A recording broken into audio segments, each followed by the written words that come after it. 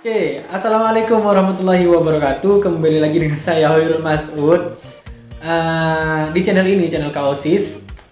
Dalam kesempatan kali ini kita akan membahas tentang program kerja OSIS Segbit ke-8. Alhamdulillah sudah sampai ke Segbit ke-8 teman-teman. Segbit ke-8 kali ini membahas tentang atau namanya adalah Segbit Sastra dan Budaya. Jadi dalam Segbit ini kegiatannya pastilah berkaitan dengan sastra dan budaya. Sebelum itu, sebelum menyusun program kerja, tentunya teman-teman harus paham dulu apa saja sastra dan budaya tersebut. Oke, apa saja kegiatannya? Sebelum masuk ke kegiatan saya lupa mengingatkan teman-teman semua yang masih belum subscribe channel ini silahkan subscribe dulu channel ini supaya teman-teman tidak ketinggalan informasi-informasi selanjutnya. Juga nyalakan loncengnya oke? Sudah dinyalakan loncengnya terima kasih. Apa saja kegiatannya dalam segbit sastra dan budaya kali ini? Yang pertama pemanfaatan mading. Jadi kita dalam segbit sastra dan budaya ini memanfaatkan mading. Memanfaatkan mading di bidang apa? Tentunya uh, silahkan membuat puisi, silahkan membuat prosa. Dari setiap masing-masing kelas itu uh, silahkan cari teman-teman yang suka membuat puisi, carilah teman-teman siswa dan siswi yang suka membuat prosa. Silahkan tempelkan karya teman-teman kalian itu di setiap kelas silahkan apresiasi karya-karya terbaik mereka silahkan tempelkan di mading. Waktu tempelnya berapa? Terserah kalian. Entah itu satu minggu lalu diganti entah itu satu bulan sekali lalu diganti.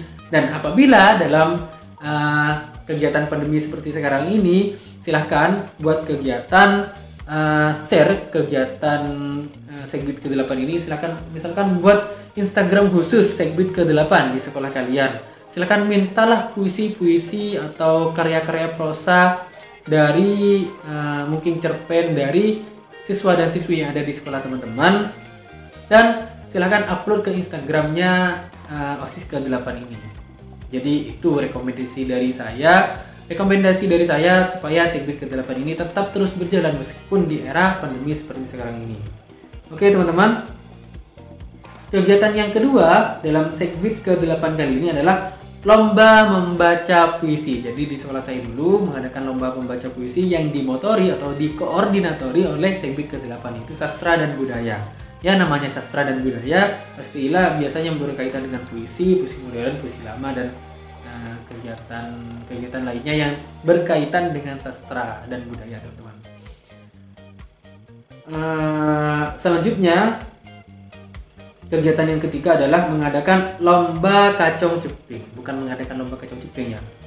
Lebih tepatnya pemilihan rekan-rekan atau siswa dan siswi dari sekolah teman-teman untuk mengikuti lomba pemilihan semacam duta wisata. Oke? Duta wisata teman-teman pemilihan duta wisata atau mencari perwakilan duta wisata di tingkat sekolah lalu dikirimkan ke tingkat kabupaten hingga ke provinsi tentunya Selanjutnya kegiatan yang keempat dalam Segbit Sastra dan Budaya ini adalah mengadakan lomba menggambar motif batik media triplek atau gerabah atau mungkin bisa juga menggunakan barang-barang bekas.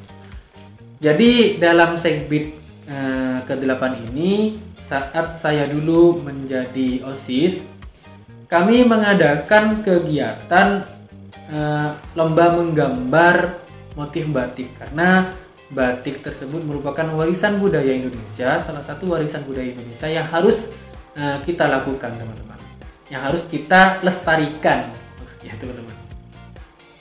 Jadi uh, alangkah baiknya dari OSIS harus bisa melaksanakan atau melestarikan budaya bangsa tersebut teman-teman.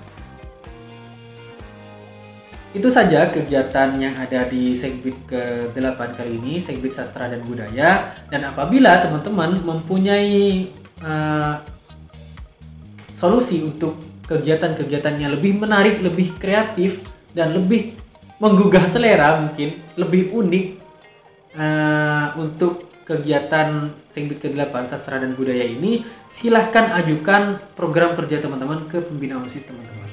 Ya, karena program kerja tersebut akan menjadi salah satu kebanggaan saat eh, teman-teman bisa melaksanakan dan sukses melaksanakannya. Seperti itu teman-teman. Dan semoga kegiatan-kegiatan teman-teman waktu mengajukan program kerjanya semoga di ACC semoga diberi kelancaran. Jangan lupa juga kalau membuat program kerja tentukan tujuannya, tentukan fungsinya, tentukan sasarannya kepada siapa. Jadi teman-teman apabila ditanya oleh pembina OSIS langsung paham, langsung bisa menjawab. Ya, harus ada tujuan.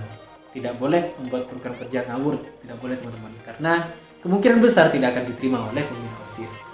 Oke, itu saja yang bisa saya sampaikan dalam eh, kesempatan kali ini dalam segmen ke-8. Kurang lebihnya saya mengucapkan mohon maaf dan uh, jangan lupa saya ingatkan lagi bagi yang masih belum subscribe silahkan subscribe channel ini supaya channel ini tetap terus berkembang teman-teman dan bisa memberikan video-video terbaru dalam eh, episode-episode selanjutnya. Oke? Terima kasih. Uh, wassalamualaikum warahmatullahi wabarakatuh. Salam osis pasti semangat